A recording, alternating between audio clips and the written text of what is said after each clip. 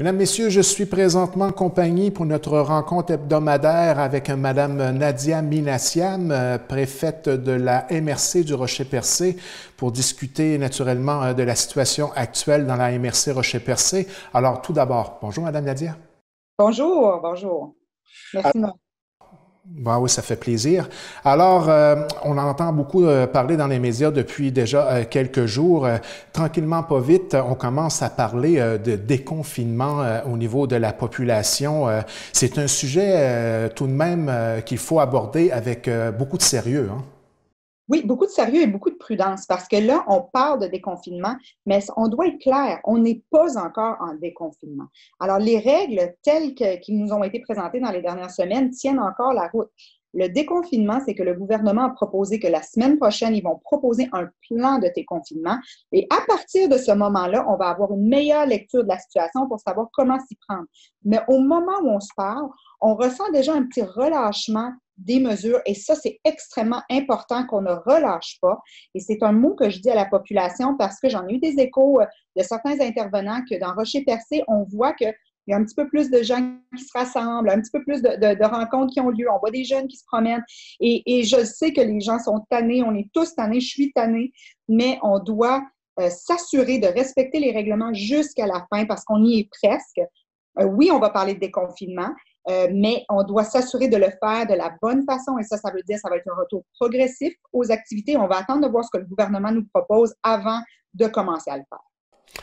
Effectivement, euh, on vit depuis quelques semaines avec euh, des règles qui nous ont été répétées à plusieurs reprises de distanciation et de, faire attention à la, à la, manière avec laquelle on se promène dans les différents commerces essentiels qui sont toujours ouverts. Des confinements est synonyme naturellement de un petit peu plus de monde qui va commencer à aller dans divers commerces. Tout ça apporte à une certaine tolérance de la patience. Veux, veux pas, on est tous un peu nerveux, faut faire attention. Oui, absolument. Et, je vais en profiter pour, pour envoyer un, un, message à la population qu'on doit faire preuve de tolérance. Vous savez, on a vu, euh, on a mis en place un point de contrôle parce qu'en Gaspésie, on jugeait que les Gaspésiens, on devait euh, se protéger des, des, lieux qui étaient un peu plus hotspot ou des lieux chauds, si on veut, où il y avait des éclosions plus, plus euh, importantes comme Québec, Montréal et tout. Alors, c'était important de mettre en place un point de contrôle en Gaspésie parce que notre système de santé est fait pour la Gaspésie et pour la population qu'on est en Gaspésie. Par contre, si on aurait eu plein de gens qui seraient venus de l'étranger et que là, tout à coup, euh, on aurait eu des, beaucoup plus d'éclosions que ce qu'on a connu, peut-être que notre système n'aurait pas pu le tolérer. C'est pour cette raison-là qu'on a mis en place des points de contrôle. Ceci étant dit, au sein de la Gaspésie, dans notre propre communauté, on doit faire preuve de tolérance aux MRC voisines, aux villages voisines, aux rues voisines, parce qu'il va y avoir des éclosions en Gaspésie, ça c'est certain, mais on doit faire preuve de tolérance entre nous autres, parce que le meilleur point de contrôle, c'est notre poignée de porte à l'entrée de nos maisons. Quand on ouvre cette porte-là, on doit se poser des questions. Est-ce que c'est nécessaire que je sors? Est-ce que j'ai pris les mesures nécessaires pour me protéger? Et est-ce que j'ai pris les mesures nécessaires pour protéger autrui? Alors, c'est extrêmement important que quand on se rend dans des magasins et on voit des gens des villages d'à côté ou peu importe, on ne doit pas porter un préjugé à ça et on doit plutôt se dire, ben, si j'ai jugé que c'était nécessaire et j'ai pris les mesures adéquates et que je garde ma distance de deux mètres, tout va bien aller. Alors, on doit continuer à garder cette, cette distance-là, mais aussi faire preuve de tolérance. On le voit depuis euh, une semaine ou deux, euh, un des acteurs économiques importants euh, au niveau de notre région, naturellement, c'est la pêche. Tout semble démarrer, ça va quand même assez bien de ce côté-là.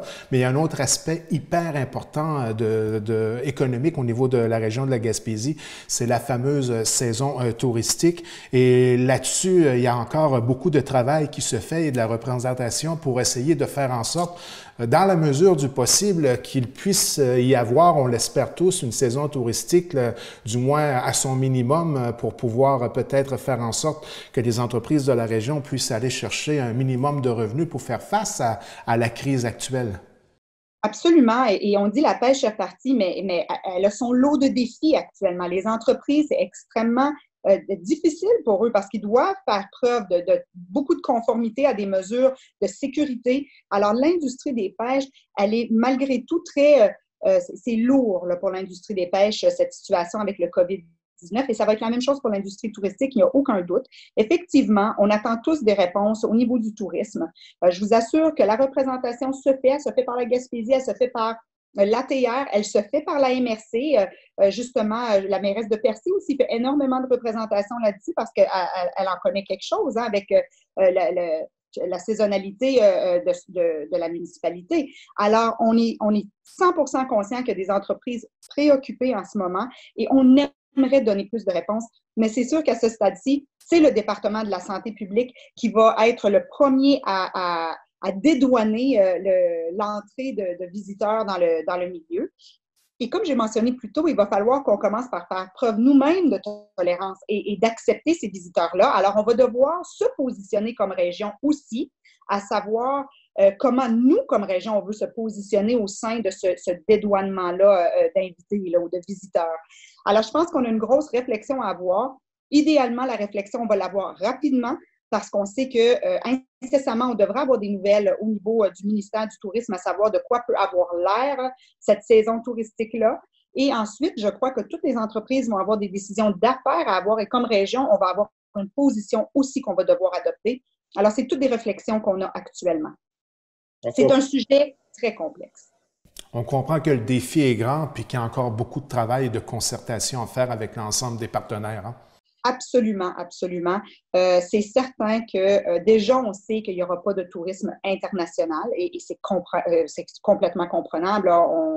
Il n'y a personne qui, qui, revendique ça. La question va être jusqu'où on va pouvoir avoir une circulation gaspésienne, parce que ça, c'est sûr que le tourisme gaspésien va pouvoir se promener sur le territoire, mais aussi avec le Bas-Saint-Laurent et le restant du Québec, on a vraiment à avoir un petit peu plus de détails à ce niveau-là. L'achat local, il va devenir hyper important. Oui, on a parlé dans le passé. L'achat local, extrêmement important parce qu'on sait qu'il va y avoir un défi de taille sur le terrain avec cette relance économique. Il va y avoir une relance économique. La question, c'est quand et comment. Et ça, c'est les, réponses qu'on n'a pas au moment où on se parle. Hein. Puis je pense que personne les a, ces réponses-là. Tout le monde traverse le pont au fur et à mesure qu'on y arrive. Mais euh, l'important, c'est ce qu'on est en mesure de prôner c'est l'achat local, aider nos entreprises locales, euh, prendre la peine de magasiner dans des commerces, euh, des commerces québécois, gaspésiens, et encore mieux quand c'est des commerces de notre propre MRC ou de notre propre village. Alors, on essaye le plus possible d'encourager chez nous et, c'est très important qu'on le fasse parce que euh, cette autonomie-là, cette autonomie économique va être extrêmement importante pour la suite des choses. En terminant, en ce qui concerne l'information globale des différentes aides à laquelle les entreprises, les particuliers et les gens de la MRC et du Rocher-Percé euh, euh, peuvent avoir comme questionnement et comme encadrement et aide, on voulait discuter euh, du site carrément de la MRC du Rocher-Percé sur lequel je vais faire un tour régulièrement. Et vraiment, là, on retrouve beaucoup d'informations sur le site de la MRC. Ne pas hésiter à, à y aller et à communiquer avec les gens qui sont en place, qui sont sont très accueillants euh, malgré la situation et qui donnent un service très professionnel. Absolument. On a des beaux programmes en place pour les entreprises. C'est sûr que ça ne règle pas tous les problèmes, mais ça peut donner un petit coup de pouce pour donner un peu d'oxygène. Alors, on invite les citoyens, les entreprises euh, et les organismes, hein, c'est important de le dire, les organismes euh, à but non lucratif aussi, euh, d'aller sur le site, de visiter le site, de contacter la MRC. Vous allez avoir un retour d'appel. Euh, les effectifs sont en télétravail. Les gens vont vous rappeler. On a des personnes euh, en télétravail, mais qui sont proches des entreprises, qui sont proches des organismes et qui ont, qui ont hâte de parler et d'aider les entreprises et les organismes de notre milieu. Alors, ne pas hésiter à contacter la MRC du Rocher-Percé. Madame Minassiam, merci beaucoup. On se reparle la semaine prochaine. Merci beaucoup. Va bien aller.